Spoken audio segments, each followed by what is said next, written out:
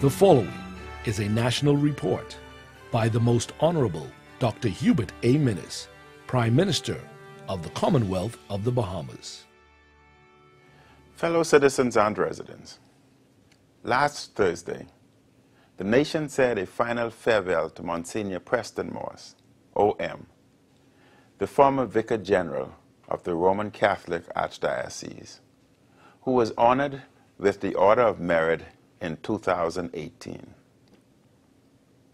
For nearly 55 years, Monsignor Moss served as priest and a spiritual guide. He was a man of deep compassion, kindness, and love, who played a leading role in our national development following majority rule and independence. As a student at St. Augustine's College and as member of Our Lady's Catholic Church in the late 60s, I remember how proud the country was of this native son, whom many saw as a Bahamian prince. Monsignor Moss was one of the country's best preachers. He spoke often and passionately of the need for the holistic and full development of the Bahamian people. He stressed the importance of the spiritual, physical, educational, social growth and development of citizens with an emphasis on our children and youth. Tonight, in my second report to the nation, I will outline a number of elements of our vision and program for holistic social development. Fellow citizens and residents, education is at the very core of our economic and social development. Our mission is to ensure that everyone has access to the educational opportunities they need and deserve in order to succeed in life and to become responsible citizens. We cannot and we will not advance as a country if we fail to make great strides in education and training at every level. Since majority rule, we have made tremendous progress in universal access to education government, and church operated schools have successfully educated thousands of young Bahamians, many of whom went on to tertiary education. We must celebrate and pay tribute to generations of teachers, principals, and educational professionals in the government operated school system who have given outstanding national service in the educational development of our young people. Our country is also richly blessed by the many church operated schools run by the Roman Catholic Archdiocese, the Anglican Diocese, the Baptist community, the Methodist and Seventh day Adventist churches, and others.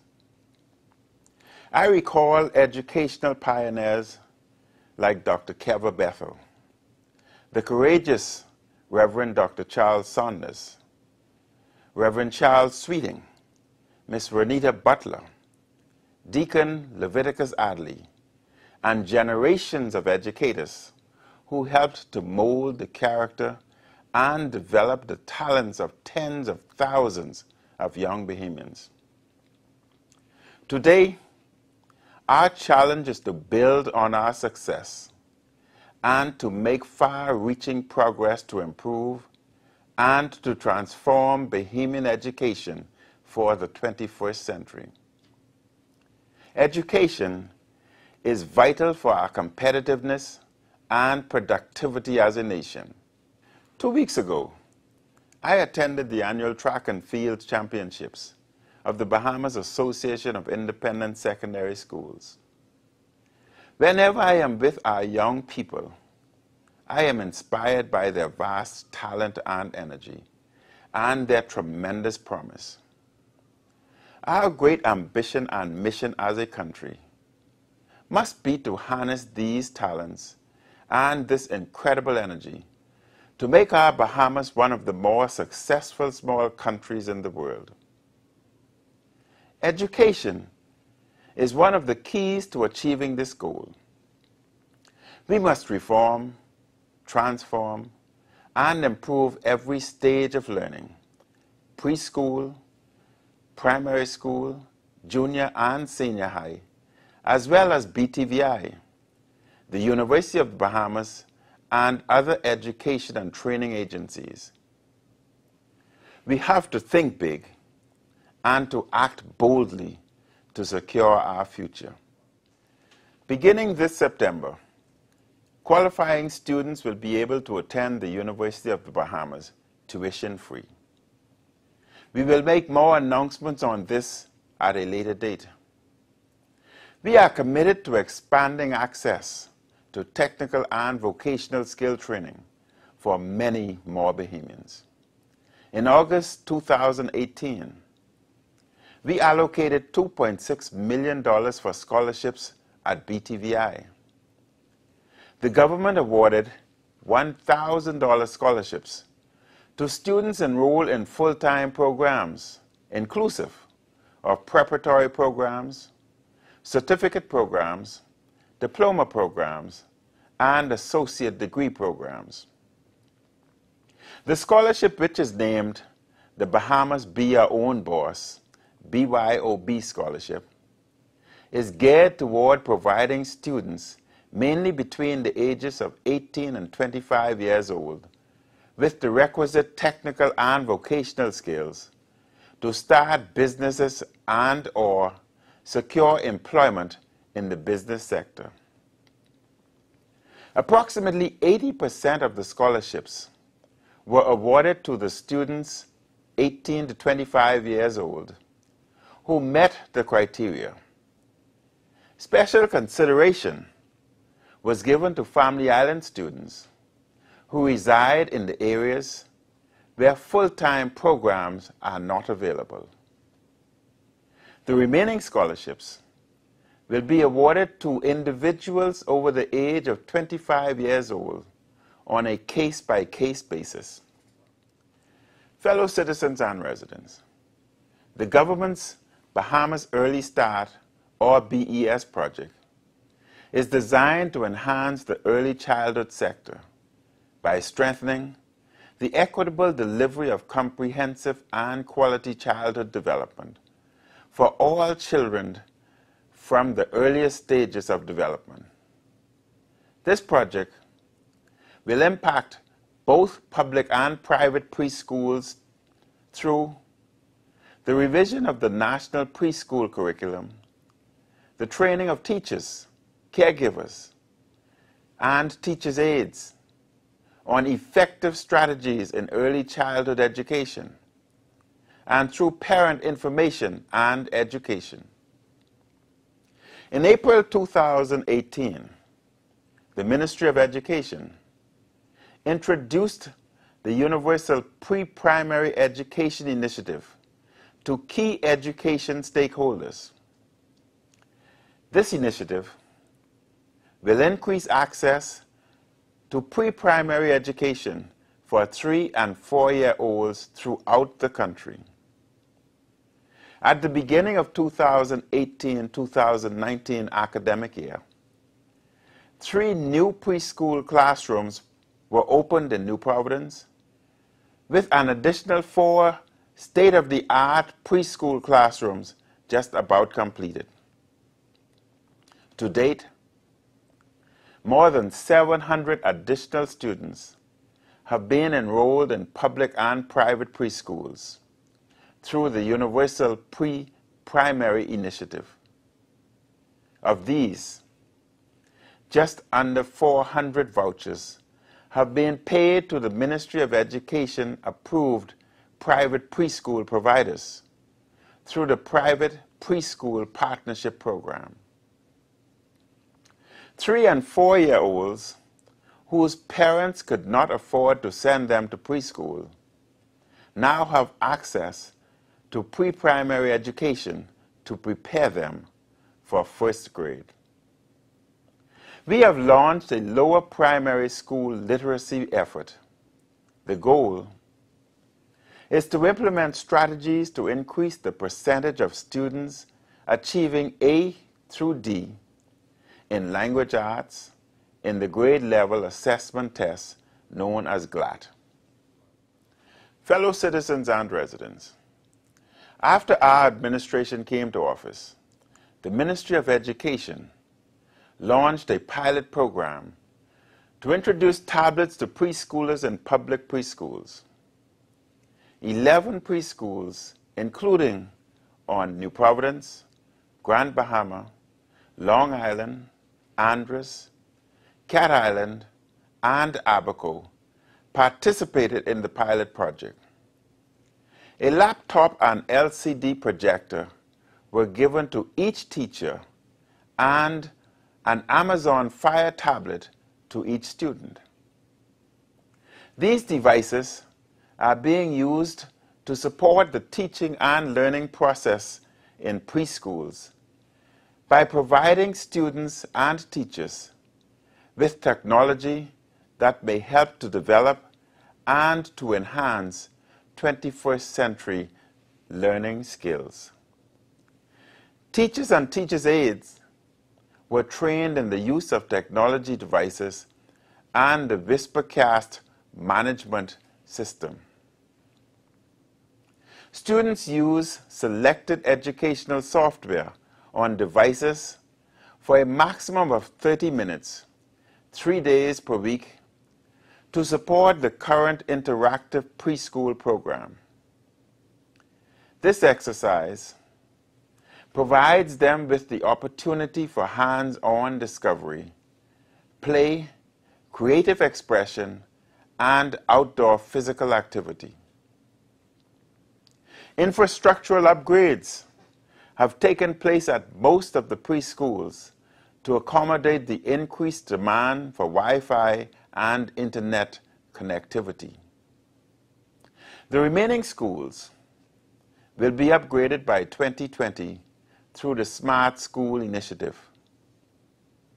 We will launch a pilot program at the Anatol Rodgers High School for the use of tablets in high schools.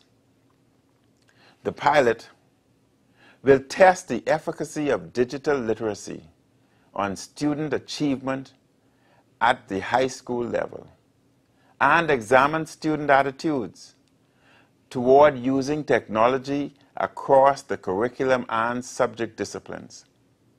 Digital media provides significant learning opportunities for students to improve literacy and other academic outcomes. As technology and information develop, school communities will have to tailor their approach to instructional practices and adapt current and future trends to improve student learning in a digital world. As of December 2018, the Ministry of Education acquired 12,000 digital devices for distribution in our schools. Contracts have been signed with the country's two major internet service providers to install high-speed internet services in all government-operated schools. This high-speed service will enhance teleconferencing and closed-circuit television. Teleconferencing will help us to expand e-learning and meetings between district superintendents, principals, and others with the Ministry of Education. We also intend to boost distance education, which will enable schools throughout the country to engage in instruction that may not be available at their school. This may include instruction from other jurisdictions. We are continuing our school modernization program with expanded and new school facilities that will improve the learning environment as facilities are built, renovated, and upgraded. A new San Salvador High School was completed in 2018. A.F. Adderley Junior High, C.H. Reeves Junior High, Eva Hilton Primary School, and North Eleuthera High School have been expanded and renovated. We are reviewing urgent structural repairs to be addressed before the start of 2019-2020 school year. Fellow citizens and residents, education also plays a critical role in preventing and addressing crime. But we must also combat crime through enhanced policing, the criminal justice system, and the mobilization of cutting-edge technology in order to better secure our homes, streets, and businesses. After many, many years of increasing crime rates, our neighborhoods are getting safer and more secure. We are safer and more secure because of our comprehensive approach to policing, but we still have plenty work to do. We have a long way to go, but we are making strides in the fight against crime. There have been reductions in serious crimes like murder, armed robbery, and shop breaking. In 2018, there was a 25% decrease in the murder rate and 18% decrease in armed robberies and a 23% decrease in unlawful sexual offenses. But we must do even more to reduce crime. Today, there are more police officers patrolling the streets instead of sitting behind a desk. Our manpower audit has helped us redirect personnel in the fight against crime. The Royal Bahamas Police Force attributed the decrease in crime to increased police visibility and to geo-reference-based monitoring for the strategic deployment of police officers. In 2018, 100 newly appointed police officers were deployed throughout the agency to provide additional manpower to assist with the overall management of crime on New Providence. We expect approximately 130 new recruits to be trained this year, 100 for New Providence and 30 for Grand Bahama. This year, we will purchase 90 new vehicles for the police force. We will be relentless in preventing and fighting crime we will relentlessly track down those who do us harm. In 2018, 1,213 law enforcement officers were trained and retrained. This included 794 police officers, 134 police recruits, 41 Bahamas Customs officers, 12 immigration officers, 9 Bahamas Department of Correctional Officers, 4 Royal Bahamas Defense Force officers, 9 security officers, and 210 civilians from the National Neighborhood Watch Council.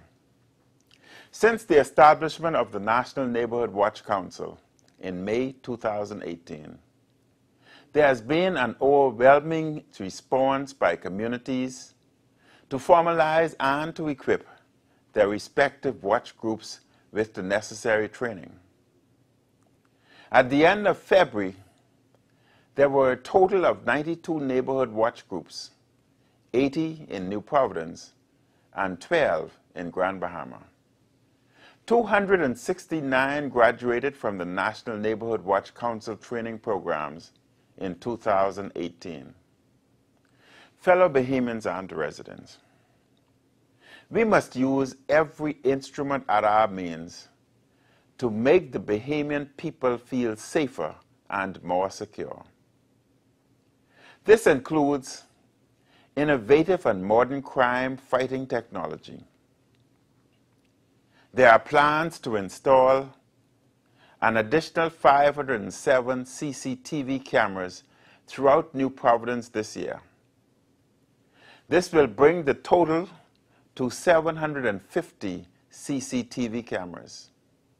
A contract was awarded in late January 2019 for the installation of 100 shot spotters in high crime areas. Shot spotter technology increases the ability of police to more quickly respond to gun related crime. Shot spotter technology is an advanced system of sensors, algorithms, and artificial intelligence used to detect, locate, and alert police to gunfire. We are building a national drone program that will aid in the detection and prevention of crime that will be operational in New Providence this year. This program will also assist with border control and in other areas of national security. We are also reviewing other crime fighting technologies such as body cams and dash cams for law enforcement officers. To better protect our borders and to reduce illegal migration, we will install a land-based radar in Inagua in the southern Bahamas. Our multi-layered security approach will also include drones and vessels. We will enhance our interception capabilities by decentralizing the dispatch of vessels in the southern Bahamas. We will expand base facilities to accommodate drone deployment. We are also improving our operational guidance capacity by engaging regional intelligence networks, inclusive of the United States of America, the Republic of Cuba, and the Turks and Caicos Islands. Fellow Bahamians and residents, to reduce crime, we must reduce the rate of reoffending. The Bahamas Department of Correctional Services has increased the number of participants in personal development programs and employability opportunities through the work release programs. 124 inmates both male and female graduated from BTVI, concentrating in subjects such as auto mechanics, barbering, carpentry, computers, electrical work, garment making, plumbing, and masonry. Seven correctional officers enrolled at BTVI to become certified instructors of inmates in the aforementioned subjects. We are making renovations and repairs to the maximum security facility. A new rehabilitative dormitory and kitchen are expected to be completed this year. A more extensive needs and feasibility assessment is also being carried out for building and additional facility to house training and rehabilitative programs for more inmates. These initiatives are a part of a broader strategy to help inmates to become better equipped with the necessary tools to re-enter society while lessening the risk of reoffending. Fellow Bahamians and residents, we are all acutely aware of the need for education to make a living and to thrive in an increasingly competitive, technological, and globalized environment. But being able to supply our needs, as important as it is, does not make us complete. Even the ability to acquire more and more of our material desires does not bring happiness. Completeness and happiness comes with cultural development. It is culture that makes us unique in God's creation. It is our ability to express ourselves culturally and to celebrate our art forms that make us complete as individuals and as a nation. That is why we love junk Junkanoo so much. It brings together our historical memory, our ability to create stunning visual beauty, our ability to create music, our ability to dance and celebrate our wonderful heritage. Culture is also about how we conduct ourselves, how we worship, and acknowledge the supremacy of God in our lives, and how we show respect for one another, especially our parents and teachers. So, my colleagues and I are determined to support and to encourage the continued cultural development of our nation in all its positive expressions.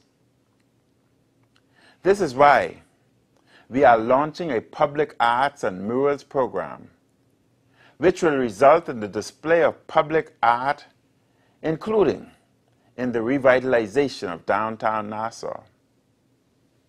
One of these murals will be created on the wall of the old jail on East Street across the road from Mortimer Candy's Kitchen. Fellow Bahamians and residents, because we are wonderfully blessed with a rich and vibrant culture, we must preserve and celebrate our diversity of cultural expressions while passing on our traditions to future generations. The benefits of a strong arts sector and creative economy are well known. The arts stimulate business activity and attract tourism. It has been shown to be an effective strategy for revitalizing areas struggling with poverty. It helps at risk youth, facilitates a child's success in school, and brings public spaces to life. To ensure that our arts sector continues to thrive and grow, we are moving forward with the establishment of a million dollar culture fund. This fund will be dedicated to supporting the development of Bahamian painters, writers, sculptors, filmmakers, artisans, playwrights, poets, musicians, and performing artists involved in projects of cultural significance. Artists will be able to apply for small grants to support initiatives that will add to cultural expression of the country. These grants will be managed and administered by an independent, non-political entity to ensure that no Bahamian artist has to ask a politician for a grant. Although the government will seed the fund, it will be open to donations from private donors. The fund will be a co-investor in the projects, and grant recipients will be required to fulfill the terms of their grant award. Eligible projects will include those with a public component that benefit the community and the cost needed by an individual for the execution of a cultural project. Such projects may include writing a book, putting on a play or an exhibition, making a film or a documentary, a community art activity, or setting up writing workshops, which may produce poetry, stories, and other written materials. Grant applications will be reviewed by a panel of members representing all areas of the art community. Fellow Bahamians and residents, as I have said before, our government's priorities are economic growth and job creation, combating and preventing crime, and social development, especially in areas such as education. We are already building a stronger economy with more opportunity. We are reducing crime. And we have broad social vision and agenda based on our commitment to social justice, equality, and opportunity. In my next report, I will address other areas such as healthcare, the environment, energy reform, modernization, and various infrastructure projects. Let us continue to seek God's guidance to become better men and women of compassion, committed to the common good and especially to the poor, the vulnerable, and the disadvantaged. Thank you for listening this evening, and may God continue to bless the Commonwealth of the Bahamas. Good night.